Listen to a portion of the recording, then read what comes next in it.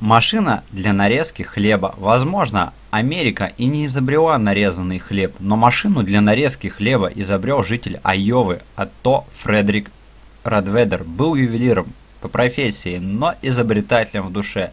Ему потребовалось более 10 лет, чтобы усовершенствовать свое изобретение, но в конечном итоге оно вошло в коммерческое использование в 1928 году и быстро покорило мир – Сегодня достоинство всех последующих изобретений сравнивается с ним, поскольку мы продолжаем искать лучшее, что было со времен нарезанного хлеба. Интернет. В 1969 году исследователи, работающие в Агентстве перспективных исследовательских проектов США, отправили первое межзловое сообщение между лабораториями Калифорнийского университета в Лос-Анджелесе и Стэнфорда – это ознаменовало рождение интернета в том виде, в котором мы его знаем, но потребовались десятилетия, чтобы он стал обычным явлением, однако как только это произошло, дело приобрело большой успех.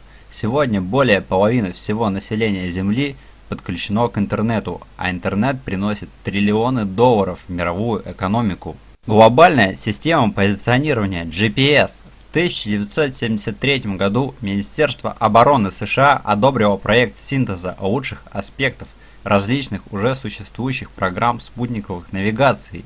Результатом этих усилий стала глобальная система позиционирования, какой мы ее знаем сегодня. Возможно, GPS и не изменил мир, когда он достиг полной работоспособности в 1993 году, но с тех пор он продолжает менять способы навигации по, ним, по нему по суше, морю и воздуху. Движущиеся картинки, кинетограф, одна из первых кинокамер, была впервые представлена Уильямом Диксоном в 1890 году.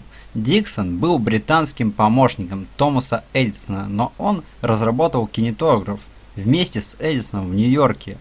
В 1892 году он анонсировал кинетоскоп, первый кинопроектор, а два года спустя Эдисон начал публичные кинопоказы в своих новых салонах кинетографов.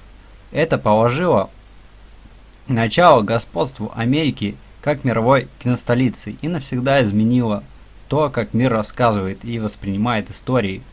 Наклейки для заметок. Химик Спенсер Сильвер во время исследований наткнулся на революционный тип клея, который мог приклеиваться и повторно приклеиваться, не оставляя следов – но он не знал, что с этим делать, пока вдохновение не посетило его коллегу Арта Фрая, когда он боролся за хоровую практику с закладками, которые не прилипали.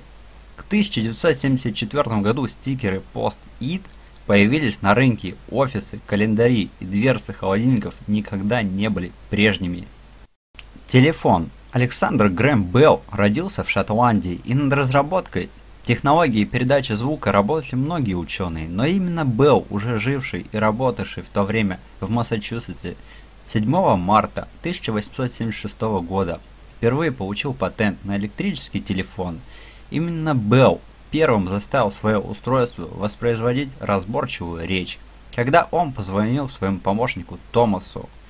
Уотсон три дня спустя, 10 марта, совершил первый в истории телефонный звонок, «Мистер Ватсон, идите сюда, я хочу вас». Были слова, которые вывели Ватсона из соседней комнаты и сделали мир немного меньше на всю оставшуюся историю. Самолет. Уилбур и Орвилл Райт были велосипедными механиками, которые были заинтригованы концепцией воздухоплавания в 1899 году. Несмотря на трудности, неудачи их эксперименты привели к первому успешному полету самолета с двигателем. В Китти Хок, Северная Каролина, 17 декабря 1903 года. Основные элементы конструкции модели Wright Flyer 1903 года использовались во всех успешных самолетах, выпущенных с тех пор. Лампочка мало что вызывает больше споров, чем заслуга Томаса Эдисона за изобретение лампочки, хотя это правда что многие изобретатели сыграли важную роль в разработке технологии. Вклад Эдисона обычно считается главным. Это соображение связано главным образом с тем фактом, что он создал полностью функционирующую систему, а не просто компоненты. а также первую коммерческую успешную лампу накаливания с углеродной нитью в 1879 году. Это изобретение не просто осветило ночь, оно фактически изменило режим сна для большой части человечества.